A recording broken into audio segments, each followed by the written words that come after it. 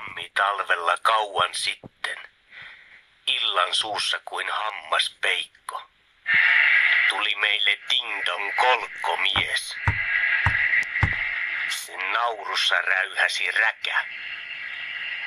Sen hampaat lyijyä oli. Se möi punaisia pommeja. Tulta vastaan tiuvau. Vaahtopäin korskuen. Viisas oli ostanut. Se tarinoi öisellä äänellään. Ja piankos jo savukäärmeet kiemurtelivat. Jotkut kurjat jättäneet ostamatta. Ja sitten vasta paloikin. Me ei ostettu. Ja prumarum lähti kolkkomies. Murahti vain mennessään. Ettei nyt vain sattuisi mitään.